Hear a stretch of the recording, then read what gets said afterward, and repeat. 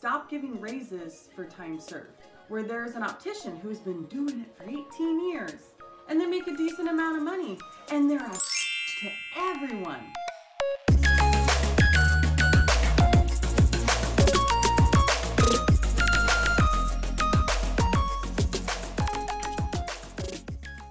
This one is from Christina in Alabama. I have been working for my current doctor for about four years now. The last time I got a raise was about two years ago and it wasn't much. The doctor does not give raises every year like my previous employer. What's the best way to approach the doctor to ask him for a raise? Yeah, this is happening in so many opticals where there are not consistent raises or any raises happening at all. Now, you might not like this response, but just hear me out because it has really two parts one for the employer's part and then the other one for the optician. So, first, let's discuss the employer. I think the opticals should stop running their offices like a prison. Now, some of you might be thinking, yes, you tell them this place is run like a prison. But what I mean by that is stop giving raises for time served. It's an archaic way of thinking to give your employees a raise every year just for breathing. I remember in my first optical I had worked in, I was there one of four opticians, and everyone got a raise on their anniversary date. I busted my tail and I sold like crazy. And there was one optician who was extremely lazy and she did not do squat. She happened to have a big mouth also, and I overheard her saying that she got a 75 cent raise. And her review was right before mine. So a few weeks later, my review comes up, and wouldn't you know it, I got a 75 cent raise too. I was certain I earned more than that right? So I asked the manager if there's anything that I could do better, and she said, "No, you're Kayla, you're great." So I asked, "Does everyone get a 75 cent raise at their review?" And her response was, "Well, everyone gets a raise. Some get 75 cents and some get 50 cents." Whoa, whoa, whoa! Everyone gets a raise every year, even if they suck. So I did some quick math on that, and that 75 cents a year increase told me that I was not in the right place for me. And one month later, I was in a different optical. We'll just say that. The moral of the story is that giving raises every year because the calendar has flipped is not a very motivating source for your team. And this type of rewarding just for time served mentality often creates this certain mindset. And, and you know what? Your reps can vouch for this because they see a lot of different opticals where there's an optician who's been doing it for 18 years and they make a decent amount of money and they're a to everyone. I'm sorry, that is not okay by me. As an employer, you have allowed for that behavior to happen and you have rewarded that behavior and now your optical is suffering because of it.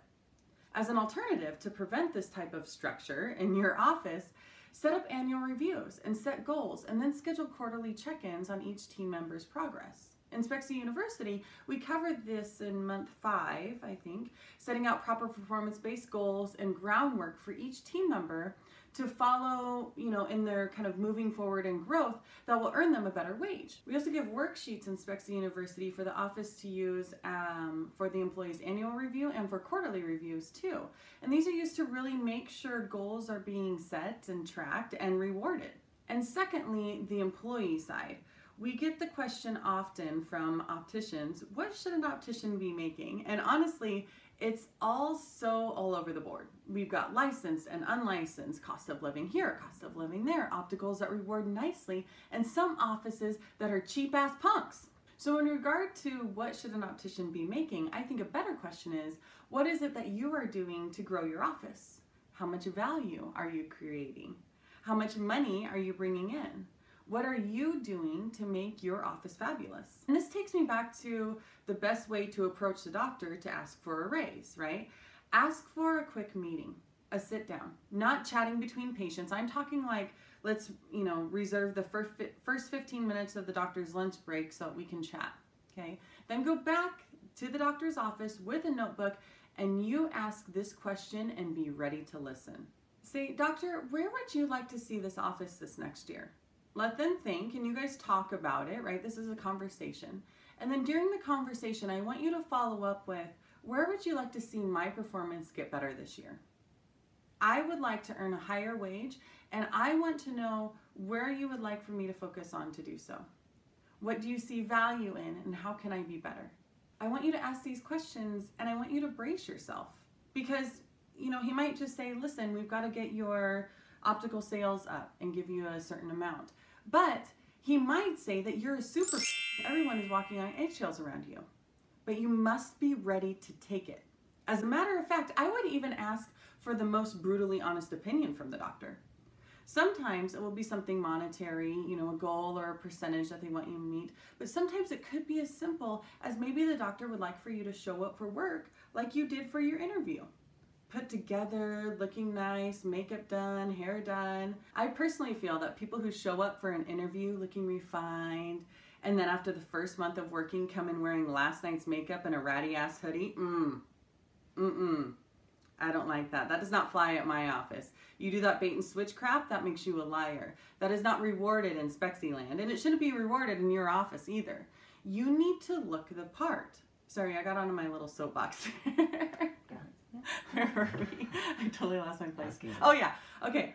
No one likes to feel backed into a corner. So don't just walk into his office and ask for a raise. Approach your doctor during a time of no distractions and ask where you can be better because you would like to earn more. And I want you to close the conversation with I would like to check back with you in four months to see how I am doing.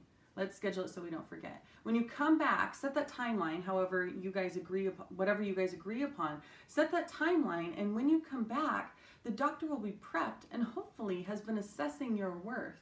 And the follow up meeting will have the perfect groundwork laid for you to earn a raise.